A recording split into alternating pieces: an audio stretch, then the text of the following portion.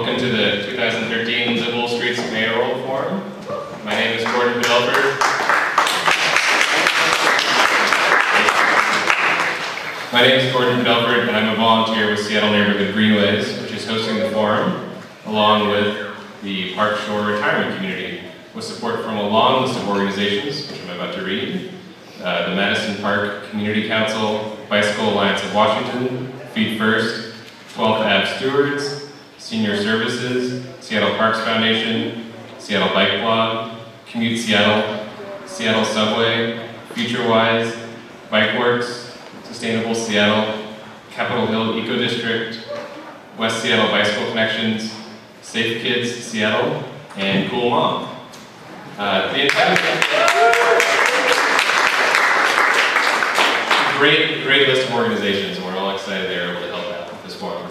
Um, the intent of this forum is educational and partisan, and I need to note that what is said and asked tonight does not necessarily reflect the views of the hosting or supporting organizations, uh, and that this forum in no way indicates support from any of these organizations to any of these candidates. And I will now ask you to please hold all applause until the end of the forum, except when I'm about to introduce Tom and Deb. Um, on a lighter note, I hope tonight will be fun, informative, and useful for everyone involved. And without further ado, let me introduce Tom Fucoloro and Deb Salls. Um, Tom is a Central Seattle Greenways leader, a Central District resident, the former writer of Central District News, a prolific journalist, and the current writer of Seattle Bike Blog. Give him a round of applause.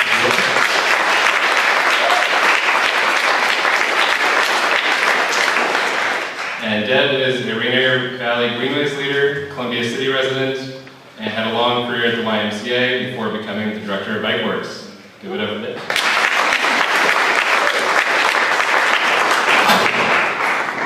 So we are running a little behind, so start us off right away with an icebreaker. So if we could just go down the line and in 30 seconds, state your name and your first memory of traveling someplace on your own.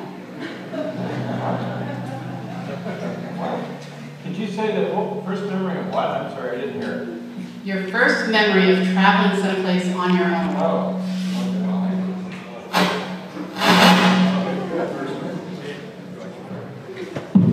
Okay, this is a scary memory. My name is Bruce Harrell. I serve on the city council, proud to be here. Bringing back a bad memory. My first time I was a student up here at TT Minor, and I lived in the Central District on 24th and Olive, and my first time I had to walk home by myself, and I am directionally challenged. I've been here all my life, I even get lost in Seattle, and so I walked the way home, and I was a block from my home, but I had to walk all the way back to talk to the crossing guard, and my mother had to come and get me. Thanks for bringing that up. Hi, I'm Kate Martin. The first thing I can remember really feeling like I was going someplace on my own, um, I went with, a- was with a friend, but it felt like we were on our own. We were in middle school.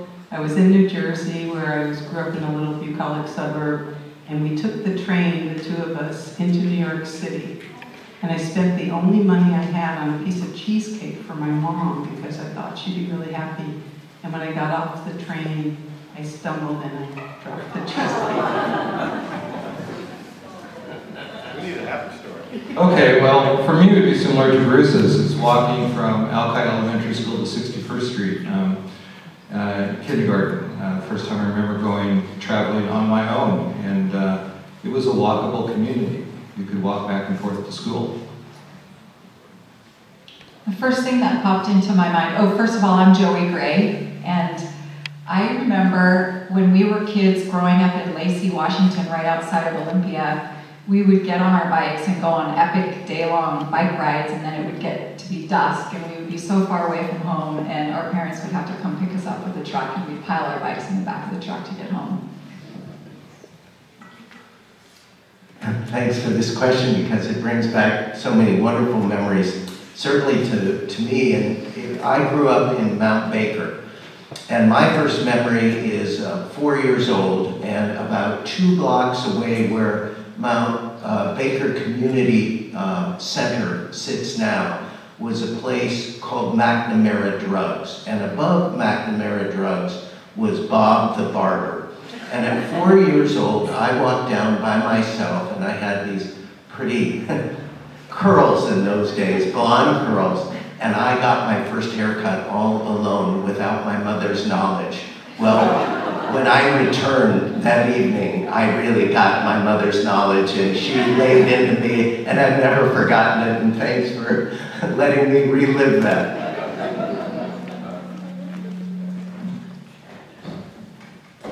Good evening, everyone. I'm Mary Martin. I'm the Socialist Workers Party candidate for mayor.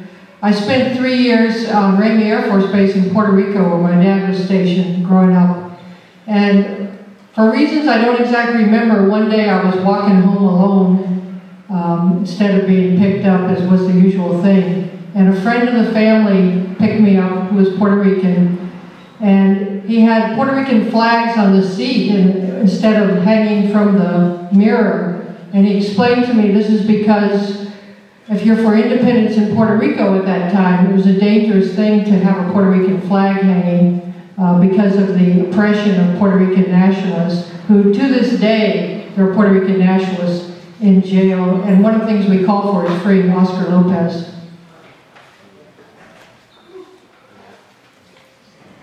I, uh, I think, I think the earliest memory I have is walking to kindergarten, and, and we did that. Um, and we collected kids on the way up the block, um, was the way it worked. Uh, Johnny Friedland was always just waiting by his door right when we walked by. We never had to knock. I'm on the far left here once again, Peter Steinbrueck for uh, Seattle Mayor. Uh, my earliest memory, in fact, this auditorium, I have not been here for over 40 years. One of my earliest memories of travel was my little red bike with one training wheel on it, coming here to kindergarten or first grade, I can't remember, because this is my elementary school. Harrison Elementary, later to become Martin Luther King Head Start program. Uh, I got a swat or two from Dorothy McKinney, who was the principal during my early years. Uh, I think I wrote on the walls or something. But I remember the proud feeling of being having a safe route to school before even anybody thought about that before it was even an idea, but it was safe at the time. We need to get back to that time and that place when kids can ride their bikes to school on their own, feel proud and confident and safe. Thank you. You can clap, it's fine. Okay, for the first section of questions that we have, um, we call these major questions, uh, you will have uh, one minute and 30 seconds to answer them, and we have, uh, we're short on time, so we're gonna be pretty strict about that. Um, you'll, you'll hold up time cards, say a minute left, 30 seconds left, 10 seconds left, and then stop. Um, and we'll just get right down to it. So the other part for the candidates, please refrain from speaking when it's not your turn. For the audience, if you can be respectful and allow the candidates to um, say their, what they have to say. Um, and that is all that needs to be said. So, the first question.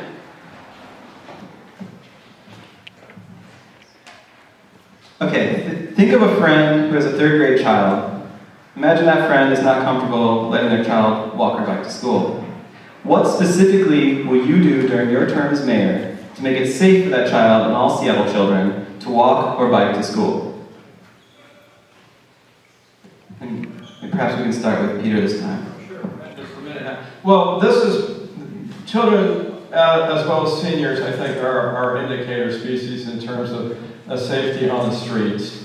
And we are not a civil city, we are not a civil society until our streets are safe for all, for all modes of travel. Bike, ped. Ped is the earliest form that there is, the oldest, the most important and ancient. And we all, most of us do walk. And so that should be priority number one, is to make the streets safe for walking for all ages, especially children of early age, uh, and I think for seniors because our population is increasingly becoming heavy on the senior side and heavy on the younger side, and that's a good thing. So safe routes to school is something we should all, uh, I think, take to heart and walk the talk. There are ways that we can improve our safe routes. We can have pathways that don't even rely on crossing streets. Uh, pathways through neighborhood uh, neighbor easements through properties. This is something that New England has done for centuries. I see it out in places like Crown Hill and other parts of the city where you actually have pathways that cut through private property. As a kid, that's what I always did. We all did that. We cut through, who cares about the legalities? You don't think about those things. But that's just an aside. But I think that there's some practical reality to that, that there are many ways to, to find your way through the city. And certainly the unprotected intersections in our city that somehow the transportation gurus of the world have decided that if they put crossings there, that they are making them less safe. I had to fight for years to get a crossing just in my old former neighborhood of Pinehurst out northeast so that I could push my kids' strollers across the street where there are no, no Stop, please. controlled intersections. All right, thank you. Thank you. We're gonna be tough.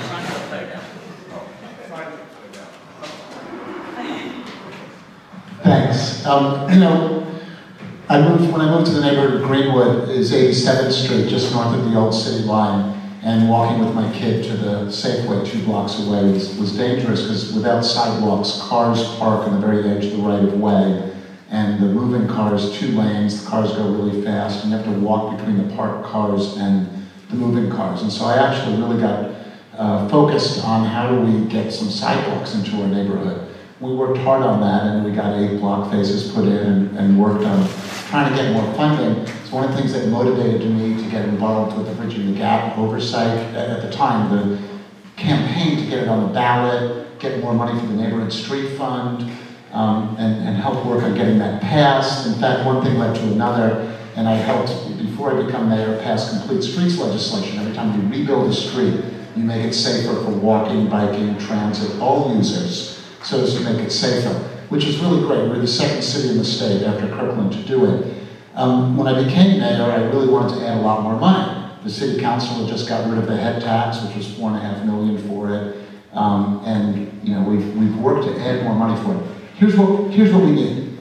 I was mentioning dollars because you need dollars for the improvements.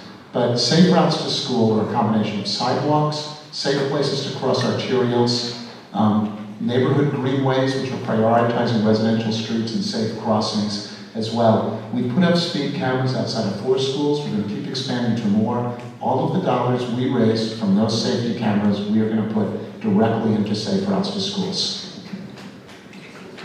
Thank you. There was an article in the Seattle Times last week that said the number of children in Washington state in poverty has grown by 3% to 18%. And that 33% of the parents of those children are unemployed or underemployed. So you can talk about making it safe for children to walk to streets, but what about making it possible for children to have food, medical care, security in their lives, their parents to have jobs? I mean, that's the real safety for children, to have a house where the parents are working, to have food, to have access to medical care. I think it's too narrow to talk about getting to school when they could get to school and not have had breakfast.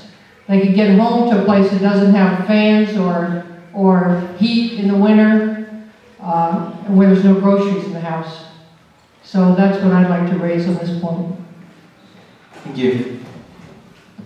Well, for me, it would be certainly creating fun and innovative pathways, whether they be walkways, whether they be bikeways, and to enhance that um, with really important wayfaring that is wayfaring not only for the people traveling, but for cars uh, going the opposite way and making sure they are aware that these bikeways and walkways exist. It has to be fun and it has to be safe. So use of LED lights, for example, on crosswalks, or even having artists in your neighborhood paint crosswalks. They don't have to be white stripes on black pavement. They can be willoughbys going across the, the savannah. And kids will then use them and likewise motorists will take notice of those. Police, obviously, if you are not concerned, if you are concerned about the safety of your child, police are a part of that, neighborhood police. Police ideally that live in your neighborhood and that you know on a first name basis. Um, encourage schools to maintain their staffing of crossing guards. And if they run out of money, look to the neighborhoods, look to parents, look to seniors. Another key is just basically educating our children on what is safe. So if Hi. you look at the statistics, crossing in the middle of the block causes 80% of the injuries. Thank you.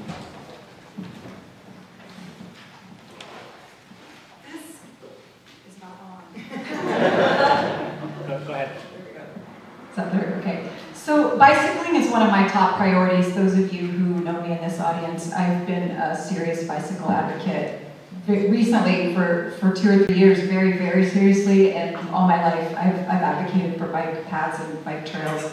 And I, as an executive, would be very tempted to focus on this issue as much as you all do. But what I would do instead, as an executive in the executive role, would be to focus on safe routes to school research that's already been done. I would leave it up to you. I would enable you as an information systems consultant. I would build and integrate systems throughout our city that tie city infrastructure to all the work and the innovation and the ideas that you guys are doing already and facilitate that. And just as an example, this is at the University of Washington, I was in student services for 10 years and I, right when laptops were coming out, facilitated between the athletic department, undergraduate libraries, computing and communications, and uh, a couple other departments, a brand new program that became distance learning for the whole University of Washington. My informal title was the glue.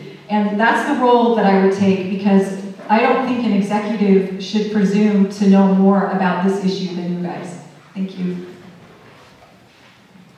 Well, thank you, and thank you all for putting this forum together and all the organizations that put it together. You know, some of you, we worked together a few years ago um, to actually get the state to restore some of the ped and bike money that had gone away as a result of Tim Eyman. Uh, we worked together to create, at the state level, safe routes to schools and to fund it. Um, and so, I, when I look at the issue of walking to school or biking to school, I look at programs expanding safe routes to school. I think the next city, uh, Bridging the Gap, should emphasize that. I think we should work with local neighborhoods. Each school and each neighborhood is different and identify the solutions that will work in that area, whether it's chicanes uh, or you know, sidewalks with larger bulbs uh, as you cross. There's various methods of traffic calming. Uh, but I think first of all, uh, there's a lot more that can be done with bridging the gap uh, the next time it comes up for um, a vote. Um, I'd also say, uh, years ago when I worked at the city council, the first thing I worked on was the idea of chicanes in Phinney Ridge, which was a brand new idea um, that was tried and, uh, and worked and slowed down the traffic. So there are real concrete ways uh, through programs like Safe Routes to School and Bridging the Gap that we can fund and expand what we've built on. Thank you.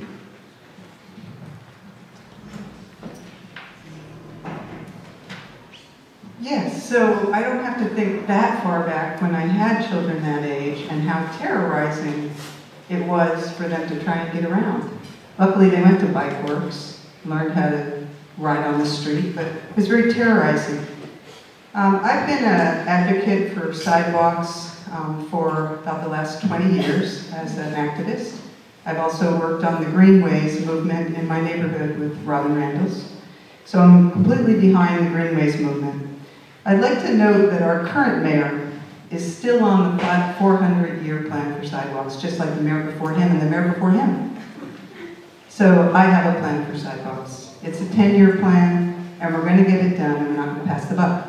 Also, I'm going to put money from the general fund into maintaining sidewalks.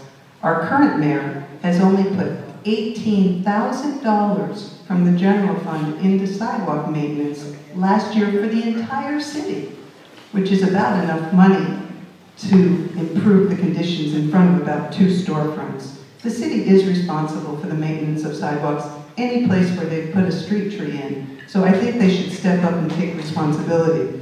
I will allow the citizens to petition to lower their speed limits on their street to the legal limit so that we can have less terrorizing neighborhoods.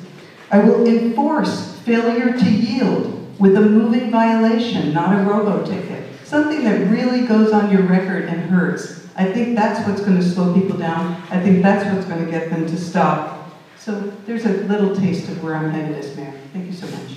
Thank you. I'll just remind everybody what the question is about convincing a third grade child who's not comfortable with uh, walking or biking to school, how would we encourage that? The first thing is uh, we have to look at what's happened to our city. Uh, about 40 years ago, uh, close to 41, 42% of the of, of kids uh, lived around their school within a mile, and almost 90% walked or biked. Now only about 13% do. So first thing, of course, we have to have something to walk to a great school, and that's why you hear me on my candidacy talking a lot about enriching our great schools. The first, uh, thank you, I forgot to talk about. The first piece, the second piece would be uh, why we wouldn't encourage safety, and I think we've heard some great ideas. Uh, uh, traffic uh, synchronization, making sure lightage, uh, lighting is, is appropriate, crossing guard, just coordinate, coordinating with the school district. I've done a lot of work in that regard as public safety chair looking at emergency responses in terms of some of the craziness we've seen. So I'm in contact with the school district about making sure everything is safe. The third piece I would say is we can't do it without you. So we have to then make sure that parents can help coordinate the walking strategy, sort of like a snowball. Maybe another parent, another two parents can help and we can pick up kids along the way, make it a very enjoyable experience. Again, we want to promote health. We want to promote uh, sort of a collegial spirit in the city. So under my leadership, we'll have what I'll call walking parties. And so you'll see several kids walking together with very uh, energetic parents. Uh, the last thing I say in 10 seconds is our, I will create community service officers, CSOs, throughout the city. They will be in the police department, but they will be there for you to help you with the walking.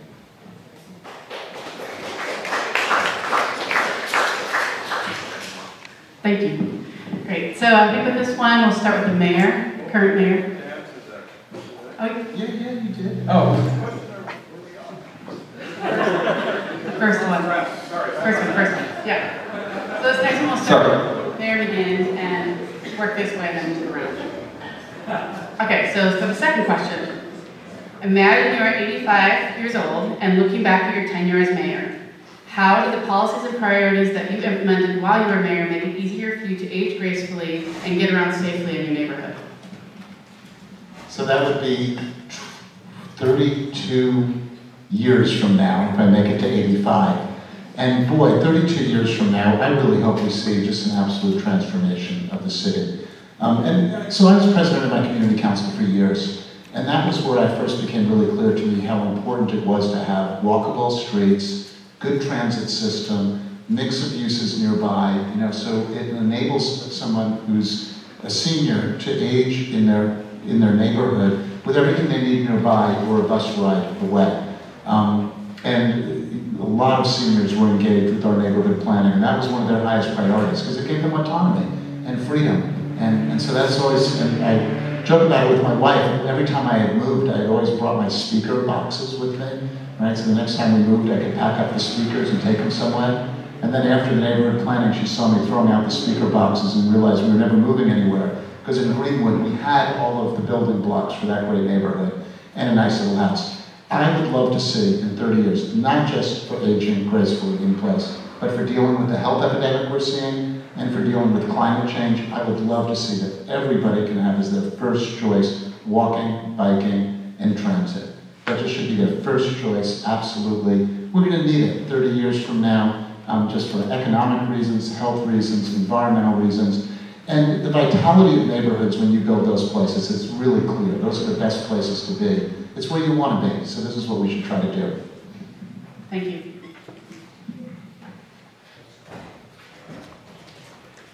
Well, as is no surprise to anyone, the capitalist system is in a pretty deep crisis.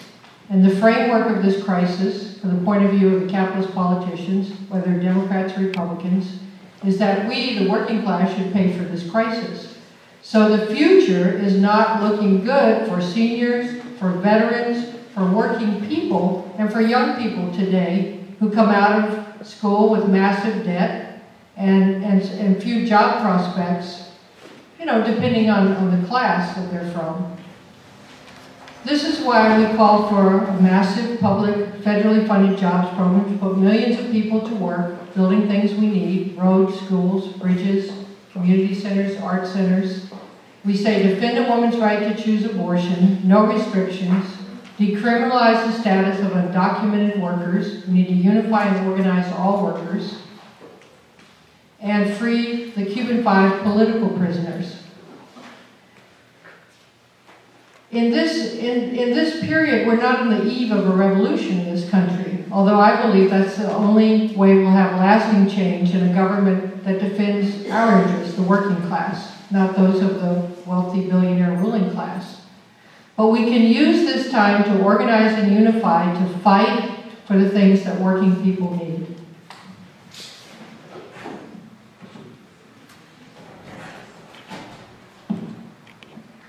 You know, all of us will stand up here tonight and make one of these wonderful promises of, yes, I would love to fund that, and we're gonna have sidewalks up north, and we're gonna have bikeways, but it takes money. And it takes, you have a limited budget. So as mayor, you have to do two things, in my opinion. You have to prioritize, and that can get very tough at times. And it's not about silos, it's about working together.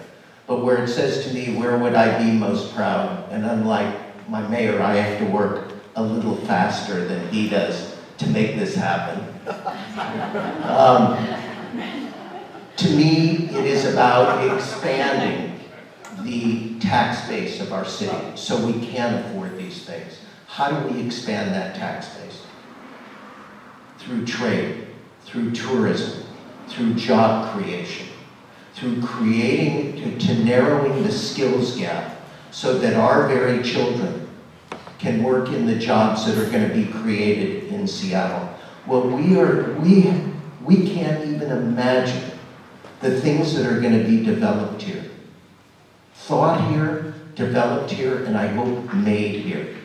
But it's that broad continuum of getting people to work so the virtuous cycle that they can create an income for their families and create a tax base, and that all these wonderful programs you take off the shelf and you can fund because you've expanded the base.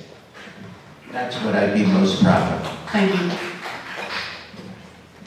The world is already experiencing the effects of climate change, and 40 years from now, I can't even begin to imagine what our city and what our world will look like if we don't take extreme action as soon as possible to get ourselves off of fossil fuel. And everything that you guys are doing pushing that, and we all need to help each other push it further and faster. Every refinery in Washington state takes tar sands oil right now, and I don't own a car because I don't want to put that stuff, I don't want to be dependent on that stuff. And I want to make it easier and easier for more people to stop doing that. So uh, who here is from Park Shore, by the way? Anybody? I spent a lot of time with my grandparents there for 20 years, so I'm glad you could make it. And I just think about whether or not it would even be possible for me to afford to live there, and I don't think it, it is because our economy is so different now than it was during, as they were earning to be able to live there. So I have many fond memories, and I think about how hard it was for them to get around. And I would especially combine resources in this city, work together with businesses, public institutions, uh, private uh, people and private enterprise, just to get people to use all of our buses and all of our resources to help get people around. I would do even more about the ADA. That's one of my favorite laws in the world is the Americans with Disabilities Act because it's been so great for us as a cyclist as well. And my time is up. There's a lot more I would do. Thank you. Thank you. Well, um, 85, from third grade to 85, wow. Um, uh, a couple of years ago, in my 50s, walking on a sidewalk, walking my dog, uh, I tripped and fell in, uh, on a broken sidewalk and tore my rotator cuff. Uh, I hadn't had anything to drink. Um, but it was, uh, it was an eye-opener to me about just the conditions of our sidewalks and streets. Over the last four years, our major backlog of our crumbling, infrastructure has grown to $2 billion. So you've heard some things here that I think are very, very correct.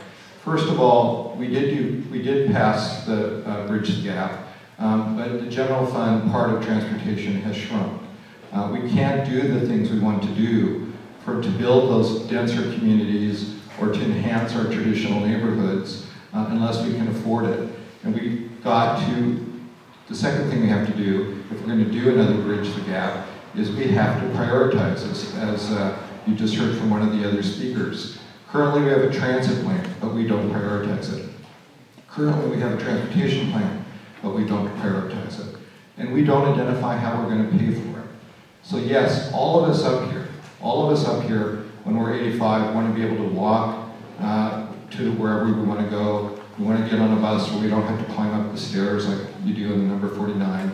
Um, but we are going to have to make some decisions around funding, and that includes the general fund and not draining it off, and around prioritization. What are we going to do first? Other cities have done this. Vancouver, British Columbia, uh, prioritize. Their first priority was pedestrians.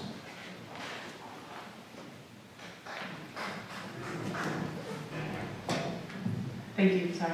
Actually, thank you. Hoping things are going to be better when I'm 85 is not going to get it done. And that's why I have a plan, because I'm a planner. So I served on the Pedestrian Master Plan Advisory Group, and somehow we weaseled out of that without a plan for completing the sidewalks network in Seattle, which is really sad, because we're actually sending a bunch of old people, handicapped people, and disabled people to reservations out in the far extremities of lesser Seattle where they can't even leave their buildings. So I did a study in Greenwood a couple of years ago called Greenwood Streetscapes. And I worked with many blocks with workshops to figure out how we're going to get these sidewalks done. And this is what I came up with. If the city leverages the private property investment, we can get it done. 95% of all sidewalks in Seattle were paid for by the landowners. So I want to continue that tradition, but I want to add a carrot to the program. What I want to do is have the city engineer and install the intersections, which are the most important and, com and, and complicated parts of the project, and then have the landowners connect the dots with the sidewalks and the rain gardens in every block. So as soon as there's a couple blocks ready, we'll do the intersections. As soon as there's a couple more blocks ready, we'll do the intersections. I'm absolutely certain that in under 20 years, we can finish the sidewalk network in Seattle. And that way, all people will be able to leave their homes, get healthy exercise, which not only helps their body, but their brain. And that's when I want to look back and say I accomplished. Thank you. Thank you. You know, on these transportation issues, it becomes in Seattle such a polarizing debate, and I think that's sort of part of the problem. Think many of us have described the problem. Um, we're spending about $12 million a year from the Bridging the Gap Fund, about $2 million on sidewalk repair. I think someone said they're right that at this pace, it'll take us about 500 years to repair all the sidewalks. Um, every, uh, every week, several times a week, I take my mother, uh, who lives with me, on a walk. And the first thing I do is I make sure those sidewalks are very safe because they're not safe. And in some cases, it could be a fatal accident. So under my leadership, number one, I want to focus on the basics. And number two, we have to come up with a stable funding source. The SDOT will say that uh, it'll take about $15 million and they want a, uh, a, a, dedicated funding source. We have to look at a vehicle license fee. You may recall it failed at $60, but we have to sell it. We have to sell it to the voters. And if you look at the numbers, for example, $40 lower fee, $40 in eight years can generate $108 million. So we have to have the kind of leader, I think, that less polarizes the debate. And I'm not blaming McGinn or any of it. We're all part of an ecosystem here. But as leaders, we have to sell it. And that would be a funding source that I would take a strong look at. The other piece I'd say is that the experience 30 years from now uh, needs to be safe as well. I refuse to believe, as an example, we have to have gangs in Seattle. That's not a way of life. I grew up on the streets out here. And uh, in another forum, you, will hear me talk a lot about my plan to make sure that we eliminate gangs in Seattle. So. Thank you. Mr. Steinbrueck? Yes. And sorry, I do remember the question. and what would give me the most sense of reward and um, accomplishment would be to, to eliminate the 10 to 15 lives that are lost every year in Seattle pedestrian and bicycle deaths as a result of extremely unsafe road and arterial conditions in the city. If I could do that one thing, I would um, sleep better at night and I would, I, I would feel like I'd accomplished something. Now, how do we do that? I think greenways are the answer. I think this, uh, to me, this concept, which is relatively new to our city and new elsewhere in the country, but emerging as the most important and significant new way of thinking about how we utilize our streets and roads, complete streets, but taking it to another level. I would like to see, as part of my legacy, all 97 neighborhoods in the city have at least access to a safe greenway that is ecological, that is a street for all, that is for families, for children, for youth, for seniors. My own mother-in-law was tragically killed at a crossing uh, at a busy arterial a few years ago. This is the most important thing for us to be addressing, and I think Greenways at least provides part of the answer, completes the streets. I passed the city's first ordinance on law requiring that streets be designed for all modes. It is now a national model. Uh, that's just one example. Thank you. Okay, thank you everybody. We're going to move on to our next section, which is the lightning round. Um, all the questions except for this first one, uh, you'll need your big drawing pad, so if you want to, I know you all just got organized, but you have to move your stuff around. Um, so during this round, each candidate will have a large drawing pad and pen. Uh, you need to write really big and hopefully only use a handful of words at most. One word would be great um, if possible. Um, and then Deb's going to introduce the very first question, which is a little different. So this first question, we're going to give you $100 in Monopoly money. And you can spend your $100 for road repairs, sidewalks, bike lanes, or more Metro bus service.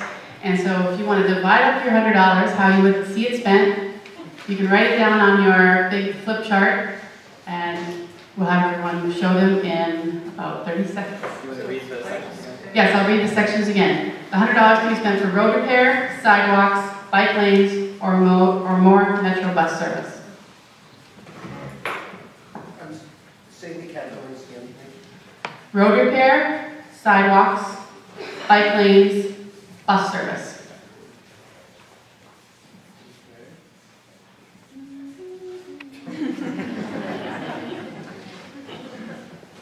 Such a lightning round. There's real money.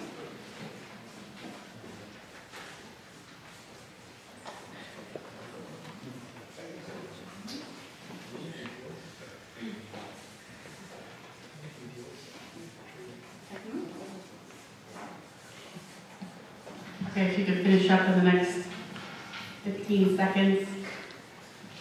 We are going to have people share. So maybe this one will be popcorn style. Anyone's ready to go? You get to go first. Bruce, you ready? Awesome.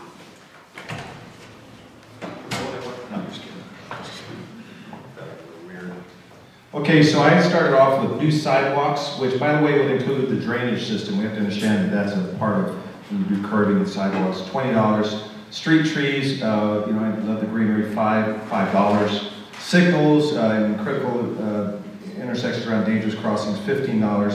Bike lanes, fifteen dollars. In metro transit, twenty. I also wanted to say that on the, uh, new sidewalks, and the new sidewalks, I'm sorry, wait a minute, I don't have street repair. Road repair is twenty-five dollars, sorry about that. Road repair, R, R, twenty-five. That's my biggest ticket item. You had to tell me I didn't, I had twenty-five dollars to spare. So road repair, and that is for, uh, bikes and cars and Vespas and scooters and everything else you wanted, but road repair is there, that's why that was my highest ticket on road repair. Great, thank you. Kate?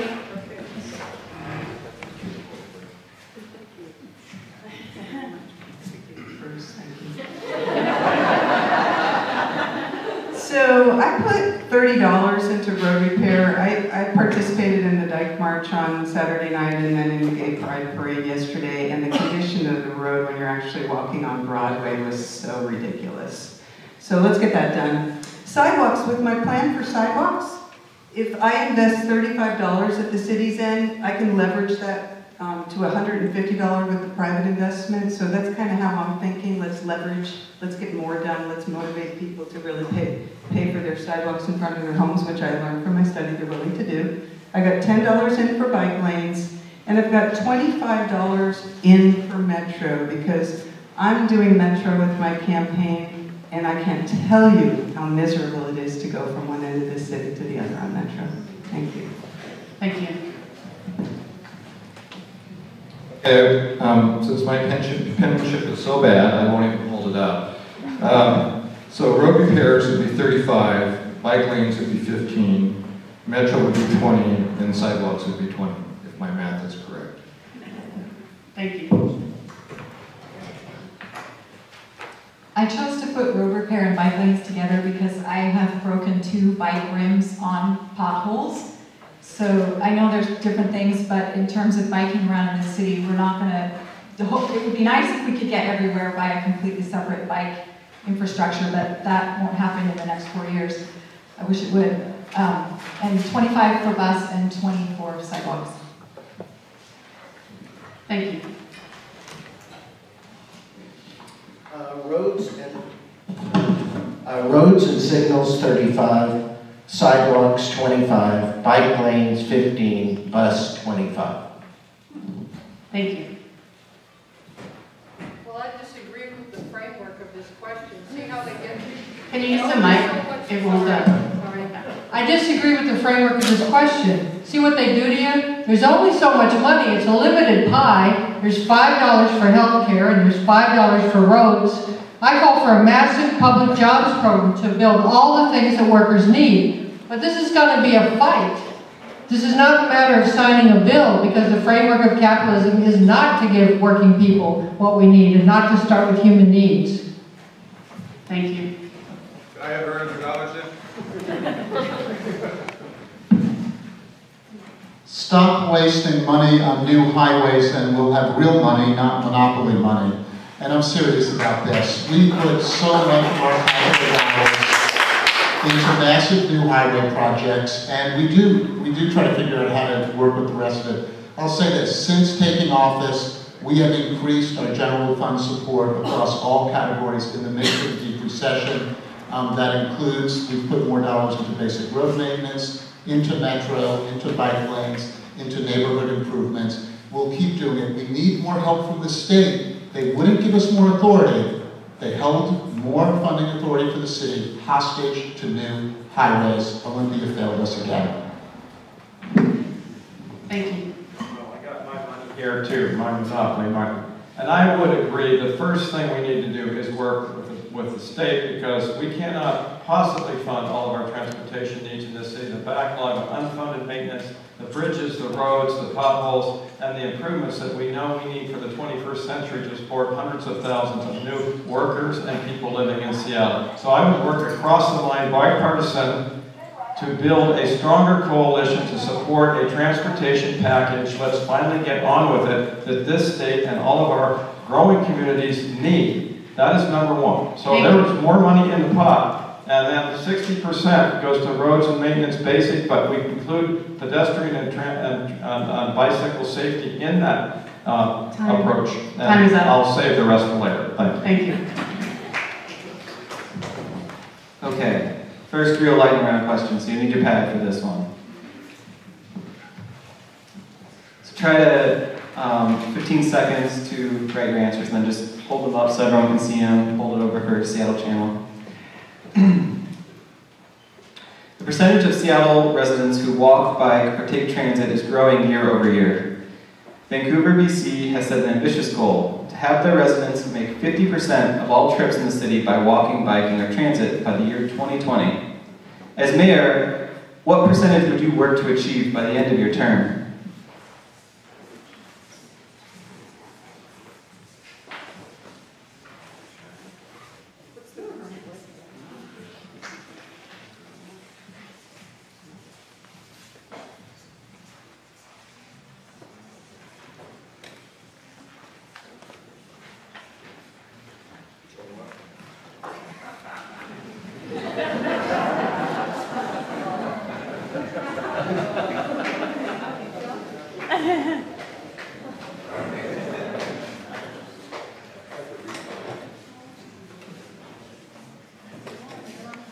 I need to read yours. So I think choosing an artificial number is, is, is, you know, I can say, hey, let's do what Vancouver does. Does, uh, that's, that's unrealistic. So I said, let's work on a metric system, let's measure ourselves. Let's put out a measurement year by year, a goal that we establish based on real data, uh, and move forward that way. You all get to respond? Sorry, you, that's your only freebie. The rest have to be legible. You lose the second grade handwriting teacher endorsement this meeting.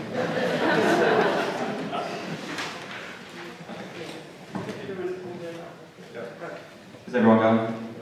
I, I don't know. At the same time. We're not sticking with that. Yeah, let's have everybody hold it up at the same time. Everyone hold the same time? Yeah, maybe we'll do that next time. No, why not this time? This time, we'll do it right now.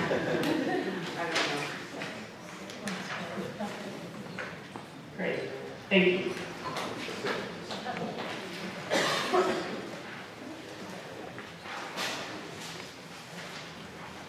So this is a yes, no, maybe question, sort of. So it should be a little easier. So serious injuries and fatalities, particularly those of pedestrians, are overrepresented in Seattle's poorest neighborhoods. As mayor, will you prioritize safer ways for people in Seattle's low-income neighborhoods to safely walk across streets? And I will hold him up now, as soon as you're ready. Right, we did time that right.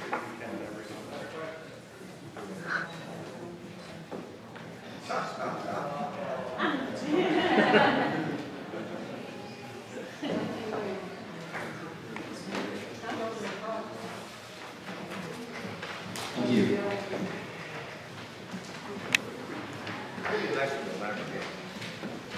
Yeah, a lot of this would be nice to leverage on. At the current rate of funding, it is estimated to take over half a century to complete just the very top priority walking projects developed in the Seattle Pedestrian Master Plan. Under your leadership, how many years would it take the highest priority pedestrian projects in Seattle?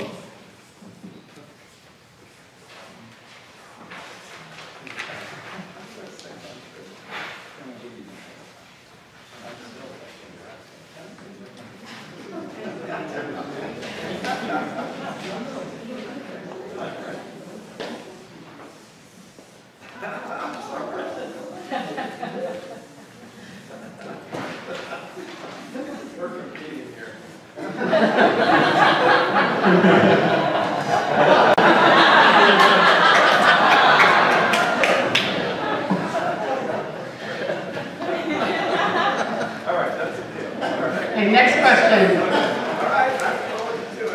Lift pads, okay, here we go.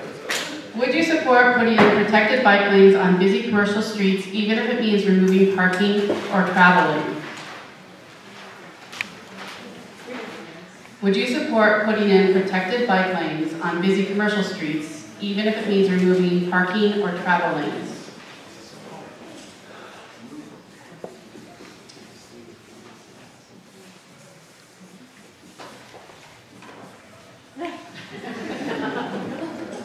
And please show your answers.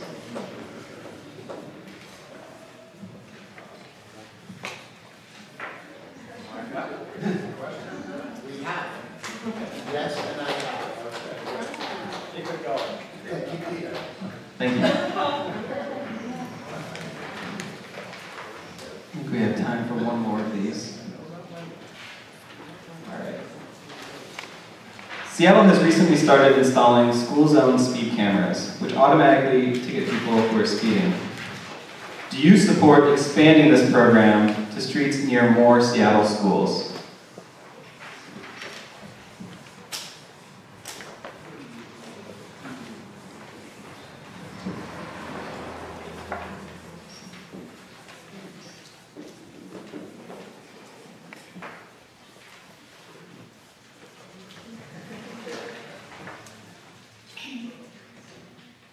I like her answer better.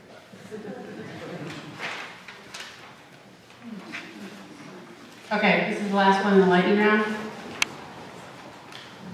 Would you support a new levy in 2015 that includes significantly more funding for the bike and pedestrian master plans?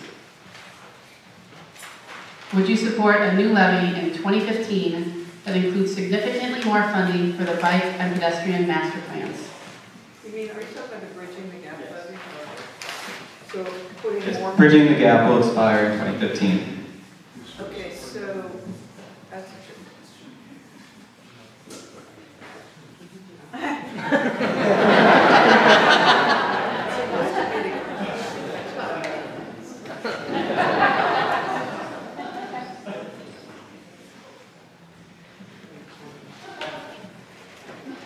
Thank you, everyone. So we actually have budgeted, budgeted in here a two-minute stretch break. So if everyone wants to kind of do that.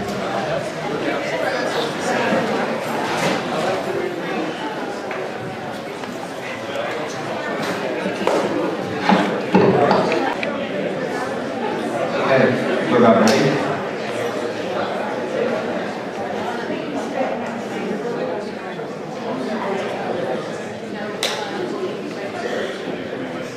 Okay, again for joining us. So um, we're entering another phase of questioning, trying to keep it interesting. So this is the randomizer question, and this will be done by drawing cards with questions on them, and each question must be answered in less than a minute. These questions are meant to be fun and non-controversial, and as such time for discussion or rebuttal will not be allowed. So one minute, and um, read, you can read your, we'll draw them for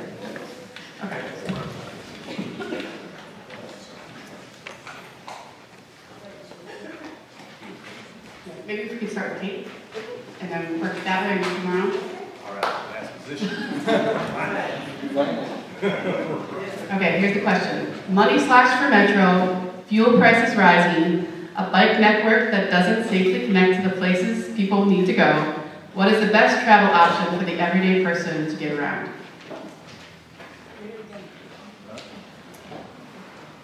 With us, things as crazy as, what's the best route?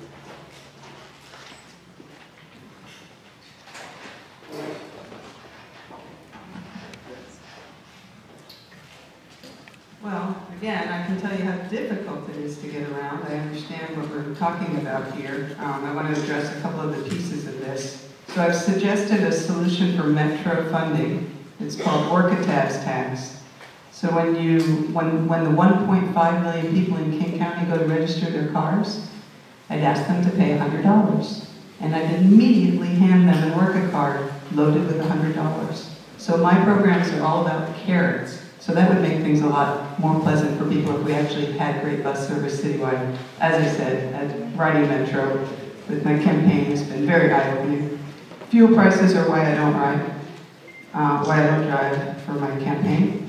Um, a bike network that doesn't safely connect people to the, so my, yeah, the, um, the best travel option for everyday people to get around today is, um, is very difficult. Walking, we have over a thousand miles of street edge with no sidewalks. And it's been that way ever since we annexed those areas 54 years ago. That's why I made a plan. So I'm going to stop that. Um, there's so many people that can't even walk to say what is the best option. It depends on which part of Seattle Seattle you live in. Thank you. The north end and the south end have no place to walk. Thank you. Moving down the line. On a beautiful summer day like this, what Seattle commercial area is your favorite place for just sitting outside and what makes it pleasant? So probably because it's easy for me to take the 49 bus from one end of Capitol Hill to the next, it would be the Pike Pine Corridor, sitting out someplace like the Odd Fellows Cafe, uh, because it's walkable, there's a variety of things to do, there's a park nearby, and then I can walk home. Did I do that in less than? Thank you. What is your, what is your definition of a network of safe and healthy streets? A network of safe and healthy streets is Seattle neighborhood greenways. That's cheating.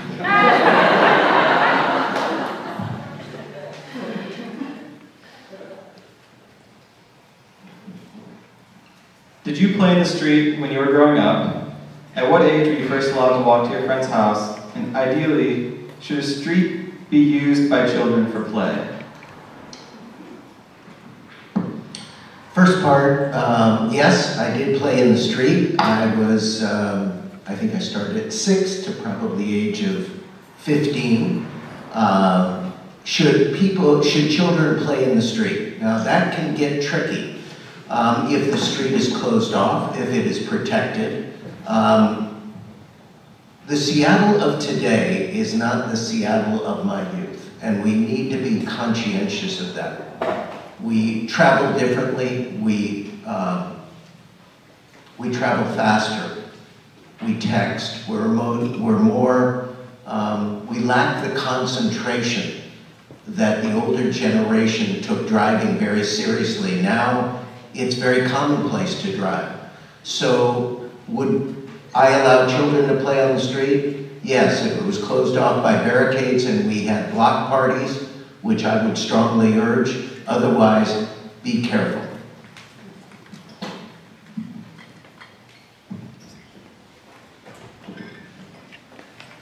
Next question. Do you believe our major transit stations can be seamlessly and safely connected to our walking and bicycle network? See, I don't think that's the question facing working people in Seattle, or Kent, or Renton, or Vancouver, Portland. Uh, in all the places where workers are locked out, like the ILWU workers in Portland and Vancouver, the workers on strike in Auburn and Belshaw, Adamatic. I think what's facing the working class is how to unify and organize, how to defend our unions, how to have jobs, how to raise the standard of living in this crisis of capitalism in which everything's going the opposite way.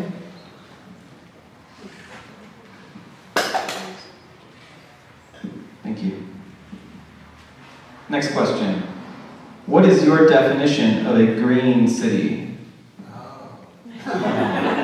Wow, wow, what a great question. You know, I look at the uh, Bullitt Foundation building, imagine if we had a whole city that way, right? That the energy that powered the city came from the sunlight that hit it, that all of the water that hit us was naturally infiltrated, that we could uh, get off of fossil fuels, that we could figure out how to, you know, that would be walking, biking, transit, as, as electrified transit is good ways to get around. Um, it would be um, fabulous to, I mean, we're something like 60%, close to 60% recycling now, but even going upstream further and starting to figure out the products we get, how we could make sure that they were, that they were greener. And of course, lots of living things are in that green. There should be great, you know, trees and parks and, and be connected that way as well. And it would be really nice if we, if our runoff into Puget Sound was all naturally clean before it got there. Thank you. Next question. Do you think of streets more as places for people or places for vehicles? Well, I sure like the last question. and we could ask that. There's a lot more to the answer to that greening of our cities. However, streets are open space. Streets comprise 20%, 27% of our land area in the city. So it's a very important preserved open space, and it's a right-of-way. It's where we connect, and it's where mobility happens. It's where we meet people. It's, it's yes, where we play, where we recreate for some of us. And yes, our streets are used for all modes and should be. Uh, my basic premise is that peds, bikes, transit, vehicles in that order ought to be prioritized uh, for the use of our streets. They can also be ecological in terms of services to address the fact that 25% of our city lacks storm drainage, both north and south, and we're discharging toxic pollutants into Puget Sound and our rivers and waters and watersheds. So we can use the streets for eco services as well as for all those other things. So yes, I see streets as multifunctional. Streets of the future need to be more that way. Thank you. All right, last question in this round. Give me a, give me a lay down like the mayor got. Where do you like to walk in Seattle and why? That's a lay down. I love uh, walking in 9118 along the Lake Washington Boulevard, around the Mount Baker area going south. And, and I gotta say, uh, Green Lake's a close second. And, and the reason why is, you get every person, it doesn't cost anything to walk, so you get different socioeconomic levels, different people. It's, it's vibrant, it could be windy, it could be raining, people walk, they get the cardio in. So uh, I find that very, very relaxing and very, um, very fun. And it's a good group of folks. I think I know, I prob- probably know 30 people that take that walk all the time as well. Great, thank you very much, all of you. So now we, uh, we're turning back into the major questions. So these are, you'll have uh, one and a half minutes to answer this question. And um, where should we start? Do we start with Joey yet? We'll start with Joey, and then move this way. Towards us. Towards Bruce. All right. We all love living, working, and playing in Seattle. But when we visit other cities, we're often inspired by new ideas. What other city have you visited that has a culture of walkable, bikeable, livable neighborhoods that inspires you? And what ideas or policies would you like to see implemented from that city that you think would make Seattle more livable? This is my favorite question because I've lived in four countries. I was an exchange student in Switzerland when I was 17, and that shaped my, my adulthood in uh, realizing that I wasn't dependent on a car. They have the most amazing network of every kind of train, gondola, bus, ski lift that you can imagine. And my school there was a teacher's college, and the, the entrance was a huge awning with enough bike parking for the entire school, and everybody would go then into a foyer area as, as big as this room that was set up for each class, and they would change and hang up all their wet clothes and have slippers that they would wear around the school, and it was like this, you would just leave your stuff, and they didn't have to have lockers, and then you'd go to school, and, and it was like seamless. You could go straight from biking into the, the building was integrated into the transportation network. So I've also um, seen the bike lifts in Norway. I think that there could be some use for that here up our hills. Um, the the bike parking garages in Asia are a great innovation. We could once we have more and more bikers, especially downtown, we could do those. And now we have new new development in South Lake Union that doesn't even have a bike parking at all. And I'm looking around for uh, electrical pole holders to put my bike against. So I think we have a long ways to go there. Um, I was I led a, a delegation to Kaohsiung City, one of Seattle's sister cities in Taiwan, Time. and they have an amazing network. And I just want to let all the candidates know that um, after, after this question, we'll have uh, closing statements.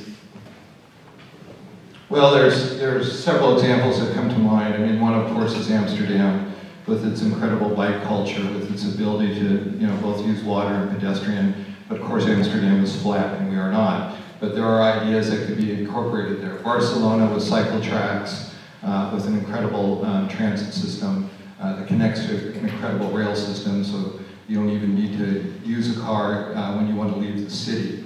Um, uh, Dublin, which has this incredible street called Grafton Street that actually is a pedestrian street with shops on it. It works. We haven't been able to do that very well here. Uh, and finally, I wanted to say a bit about um, uh, the state transportation package. You know, we all voted, um, you, we in Seattle voted 75, 80% for a package we put together that restored pedestrian, that restored transit money, that had money for safety, taking down things like the viaduct.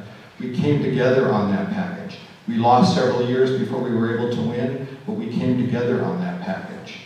What we've just heard here was a governor, a mayor attacking Olympia. You know why we won? You know why we won that package? Because we worked with Olympia. We didn't attack Olympia. We have to build partnerships with Olympia. And we're not done, and the is not done either. So I, I wouldn't write off Governor Inslee like write, wrote off the last governor. I think we have a real opportunity still to move forward in this state on our transportation system, just like we did in 05 when we voted 80% after John Carlson put that package on the uh, ballot. Thank you. I know this sounds really crazy, but I'm going to bring up New Jersey again. The town I grew up in was totally walkable. All of the kids walked in big mobs to all the schools. We had a train running through downtown that took you any place outside you wanted to go. We never ran the arterials through the neighborhoods. The arterials were off the beaten track of the neighborhood, made it really safe for people. So for our downtown Seattle, that's where I'm going to say is going to be that magical place for us to be able to bike and walk. I have a plan to save the upper deck of the viaduct, retrofit it seismically, and make a park from Pike Market to Pioneer Square, where we can all go out, get the view that we deserve. It's supposed to be the waterfront for all, and I'm going to give it to you. On that viaduct, we can ride our bikes, we can stroll that three quarters of a mile, we can set our chair up and watch the sunset, we can see the mountain. We'll have bike tracks on Second Avenue and Fourth Avenue, so that people can safely move through the bicycles. We'll get rid of some of our parking so that we can have wider streetscapes. The trees can have some room to spread out their roots, and the natural drainage can be installed. I'll make sure that the buses can actually move, not only on Third Avenue, but every place else.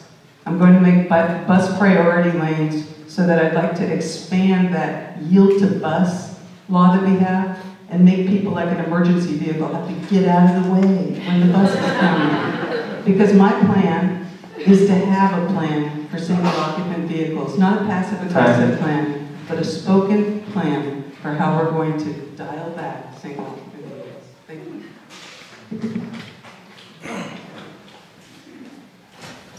So I haven't been to, uh, what Ed was talking about Amsterdam or Barcelona or Dublin, but I've been to Portland. I'll tell you, they're doing a few things right there if they focus on uh, transportation integration. And I didn't get the chance to see my other colleagues answer on the pedestrian master plan.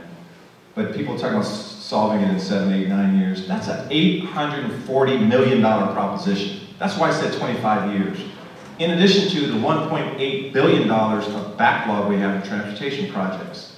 Where's that money going to come from? Okay, so what I did with City Light as an example, we had two of the toughest years they had, they've had in their history, and we drove about $90 million out of O&M capital in their toughest years. And if you do that, I think many of you know my background as an attorney, and I know financial policies very well, and I know how to look at organizations and drive efficiencies and prioritize. And, and that's, I think, what we're, what we're lacking. So one thing uh, Portland has done, I've looked at a lot of the, the cost studies that they've done in their projects, they have driven a lot of their costs down and they worked on integration. Quite frankly, I think that's what we have to do. So um, what I want to do is, again, keep the good bond rating uh, this city has, but again, look at the actual money that we're spending toward projects. I'm a proven commodity in doing this kind of work, and quite frankly, I'd love to get the master plan done in seven, eight years. I just don't think that's a realistic uh, proposition. But I do think, that's why I specifically talked about the vehicle license fee, because I do think we could sell a good financing package to get us on track, and we're not on track at the current, at the current rate. Thank you very much. Thank you. Said anyone forgot, I think the question was, which cities inspire you most for walkable, walkability, livability, etc.? I've been a student of cities all over the world for several decades now. Um, I've lived in other places, I've worked, I've studied, I've researched at Harvard, uh, urban sustainability focus in the United States particularly. I've traveled places like Istanbul, London, Copenhagen, and cities in the United States. I'm going to choose cities in the U.S. because that's our world here. We can learn best practices from elsewhere, but accomplishing them here is another challenge. The, the three cities that I most uh, have enjoyed and looked to, I would say, would be New York City, which has gone incredibly green over the last decade or so, and is highly walkable, but of course it is extremely ser well served by transit and non-SO, non-single occupant vehicle means. Uh, but parks, open space, bike lanes, uh, all kinds of things that, uh, neighborhoods. My God, they've got great neighborhoods. And so San Francisco is another city that I particularly admire, very dense, one of the densest cities in the country, but also very expensive. But it didn't just happen all at once, it evolved, and it is compact, and it is uh, walkable, bikeable, livable, except for some of the hills, pretty steep, and I've biked all over these places I'm mentioning. Cambridge, Mass, twice the density of Seattle, smaller city, about the size of Bellevue, But one of the most walkable cities I've been to, and it's because of the scale, because of the uh, independent shops, services, complete neighborhoods, which I'm advocating for. And finally, I'll just say, um, we could do much better. We can learn from these other cities. Thank you. Thank you. Thanks. When I was uh, visiting in Japan, I love seeing these big bike corrals near the transit stations. Huge amounts of people bike to transit, and I was thinking about that. Wouldn't it be great with that bike ped bridge that we're working for to get to Northgate? If you could have tons of people biking to Northgate, fast ride downtown, be a fabulous alternative. I'd love to see that around more. Speaking of transit, big cities have multiple layers of transit. They don't just have one system. They have a regional system and they have a local system. I'd love to see Seattle um, you know, have neighborhood to neighborhood rail as well as connecting to the regional rail system. And we're working on that right now with our transit master plan, as well as jointly planning with Sound Transit to get to Ballard and to look at studies for U District to Ballard, downtown to West Seattle to get Sound Transit 3 to Ballard by 2016. But we can do more with our own money to help connect our neighborhoods together um, on top of what Sound Transit will do. Cycle tracks, I've not been to Amsterdam or Europe or seen them. I've heard about them though. And we have our first uh, full cycle track up on Linden Avenue North. Amazon, as part of their mitigation, will build a cycle track on 7. And our bike master plan will have a cycle track network through downtown. So that's a lane separated from peds and cars just for the bicycles. And greenways are great, but in the congested areas, you really have, there's no alternative side street. You have to use the main street. Finally, on our commercial streets, I love seeing additions of things like street cafes in San Francisco with the parklets. We take a parking space and turn it into a little park. We're going to be rolling a lot of those things out soon in the next year.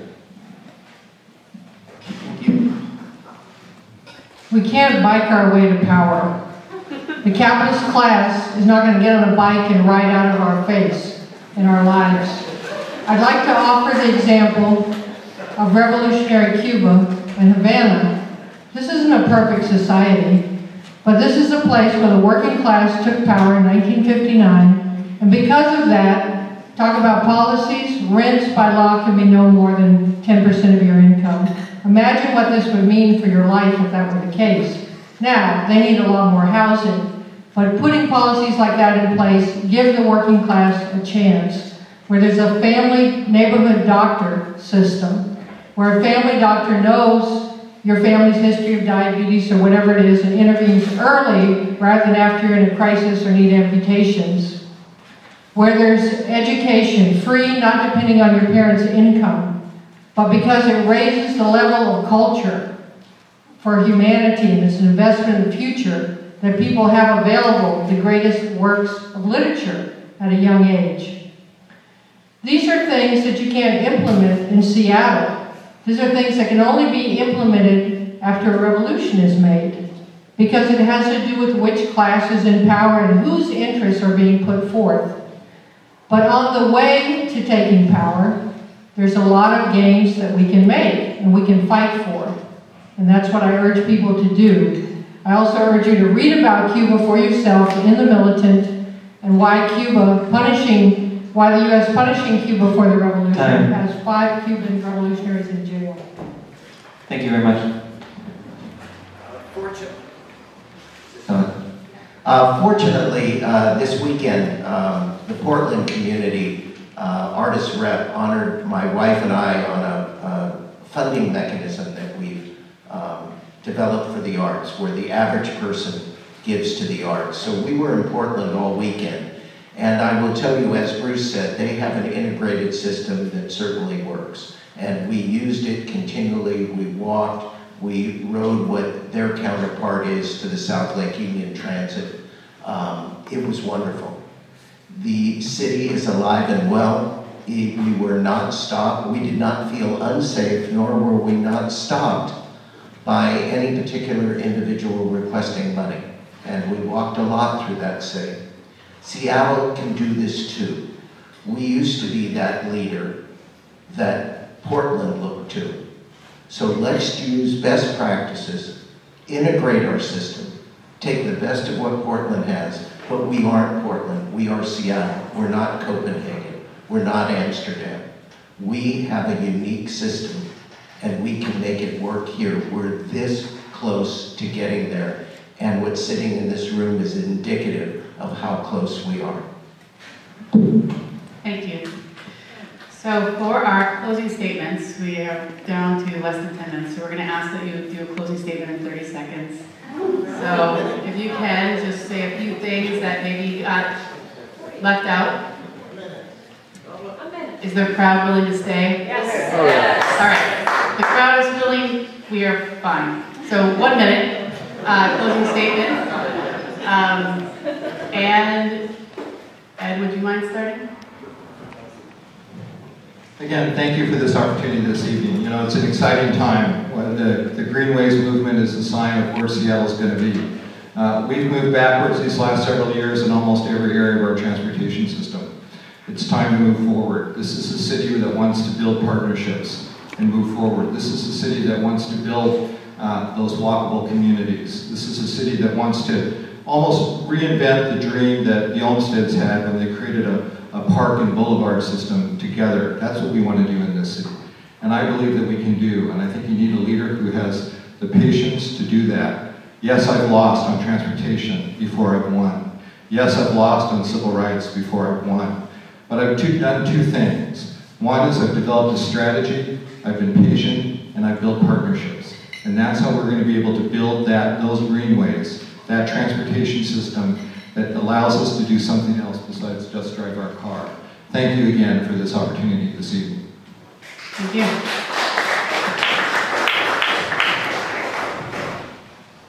I lived in Vancouver, BC for five years, and we are surrounded on both sides with Vancouver that's done transformative things with their bicycle infrastructure, and Portland, obviously. And here we have Sharrows on the road, and I was overjoyed as a cyclist when, when those appeared, but then I just realized how superficial they are, and that harkens back to the Switzerland experience where they have people living in cities where they've lived for generation after generation after generation, and they consider, especially the west coast of America, to be pretty superficial, and our Sharrows are about that. We, just this week, I'm sure a lot of you heard about the Rutgers expert who was here talking about the death-defying experience on 2nd Avenue downtown.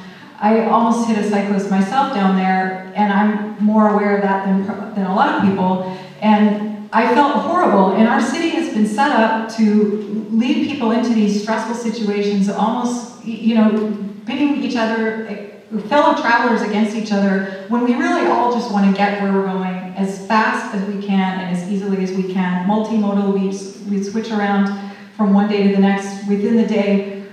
I might be the only candidate that's hitchhiked to a Time. forum. and Time. Thank you. I think the message I'd like to leave with is that we are all in this together. When we categorize certain groups, the bicycle group, demonize the drivers, or the pedestrians, we all lose. And the leader, one of us, sitting up here today, needs to bring all of us together. We need to break those silos. We need to see other perspectives. We just can't walk into a room and say, this is what I want for the bicyclists. This is what I want for uh, pedestrians. We have to have an integrated system, and it will take all of us, and again, one leader to bring us together. One leader to point out that the other person has a perspective. That will be the beginning of the master plan that will work for Seattle. Thank you. There's two Seattles. There's Seattle of the wealthy property owners, business owners, and bondholders. And there's the Seattle of the working class, whether we're working or unemployed right now. The Socialist Workers Party defends the working class, and everything that we're presenting adds up to a fight for the resources and the wealth that we create, but we don't get to decide how it's used. Our campaign urges people to read and study our history, Women in Cuba, The Making of a Revolution Within the Revolution, Malcolm X, Black Liberation, The Road to Workers' Power, The Militant Newspaper. We're presenting a program to defend the working class. I urge you to support this campaign. There's two other socialist candidates, Edwin Fruit for City Council and John Naubert for Port Commissioner. and they're going all the way to the November election because they're in a field of two. Consider this program and support it. Also, read the Militant newspaper for more coverage on all these fights. Thank you. Thank you. You know, as a, a neighborhood leader, as a Sierra Club member, um, as a running a nonprofit, I worked, I advocated for walking, biking, and transit for it to be a priority. And I can report to you that I hear the same thing from elected officials and politicians that you heard up here today. Everybody's for walking and biking and transit until it's time to really make it a priority in terms of funding or, or policy choices. And I've stood up for it. You can, you can check my record, you can review my record both as an advocate and as a mayor. And I've taken some heat for that, for standing up for that and doing that. And there's a reason for it. It, it really matters. By the way, you can check the record of other folks too. When the state said we don't get sound transit unless you build 8 billion in new highways, I was pretty much alone with the Sierra Club and the Cascade, Bike Club. We stood up and said no against the entire establishment because we didn't want, it was bad for global warming. It made it worse. That motivates me. I want to be able to tell my kids we did something about global warming. I don't want to say to them, all the politicians collaborated to build more highways. Thank you. Thank you. I have a confession. I am not a lycra donning commute maniac on bike. I do like to ride by bicycle, but I am I'm one of those willing but wary people, and I think I represent thousands, if not tens of thousands of people who would like to see our city streets made safer. That is why my number one priority is pedestrian bike safety on our streets. It is not safe today, and we're not getting there fast enough in terms of safety. So that's my top priority, is safety on the streets. Second one is urban mobility, all modes. Most of us, excuse me, do travel through all modes. We walk, we bike if we can, and if we, if it works for us, we take transit, we take light rail, and yes, we drive. I think something like 70% of us, of our households, have cars. Most people drive. Our city's urban form evolved around the automobile. We are in a time of transition. We are expecting 150,000 more people for our city to grow by in the next 15 years. 200,000 more workers, and today two-thirds of those workers live outside Seattle. Time. That spells congestion. We need complete neighborhoods to accommodate that. Time's up. Thank you. My name is Bruce Harrell. Thanks for your patience. Uh, you know, I've been in almost every neighborhood in the city, irrespective of the demographic. And I'm fully convinced we all want the same thing. Safe neighborhoods, uh, opportunity for our children, um, livability, walkability. And I think all of us want the same thing. You know, walkable, great greenways, protected bike trails. We want all that, but we don't have the tools. We don't have the skill set. That is our problem. The reason why the mayor will not be able to accomplish the funding of the pedestrian master plan that I say costs 184 million is because he doesn't have a plan. I know because I'm vice chair of the transportation committee and I sit on the Puget Sound Regional Council Executive Board and I look thoroughly at all of our financing plans. I have a background in business, but I've been fighting for social justice all of my life. And so I'm asking this city to imagine what can happen if we have that kind of leader. I don't care how I'm known after I'm dead, but I hope I inspire a few people, inspire Seattle to be better. That's what my candidacy is about. I ask for your support. I ask for your, uh, your money sometime too. I ask for your vote. Thank you very much. Yeah, I know. So she, she can ask for a check, so I give it to the bunch. That's okay. Thank you. I'll take some. Uh, So I'm Kate Martin. I'm bringing forward 25 years of planning and design experience, over two decades as an activist, and 22 years of parenting down to City Hall. And I assure you, disjointed incrementalism is over. I'm going to make plans that are comprehensive and budgets to go with them and timelines. We can get it done if we have a plan. So when our mayor says how hard the budget is to squeeze this out, and he allocates one block of sidewalks per district, district, per year, that 400 to 1,000 year plan, I say no. That same mayor is spending $40 million a year on overtime at police and fire. That adds up to almost a half a billion dollars every 10 years, and I assure you, we can build a lot with that. Thank you so much. I appreciate your support, your vote, and a little check. Thank you. Thank you. That's it, thank you so much. So thank you, thanks everybody for coming. Um, this was a lot of fun. Make sure that you go and vote, and I believe you can register in the back there. Um, and we are just barely over time, so thank you all the candidates.